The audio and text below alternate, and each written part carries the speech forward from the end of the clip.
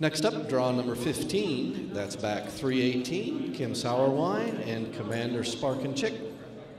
On deck, number 218, Chris Sullivan. And in the hole, 228, Dulce Tisataka. Tisateski, excuse me.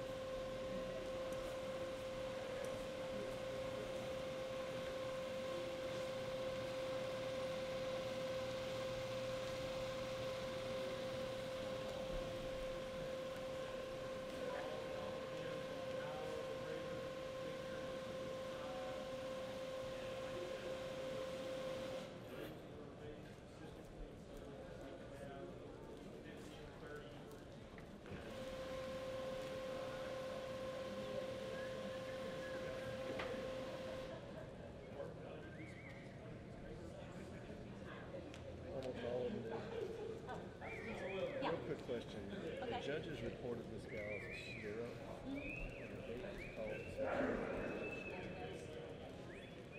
But then, why didn't correct that? Or just leave it, let it Just, just, well, they'll, she'll write it on her over there? So we'll get it officially. So I don't need to make the announcement. No.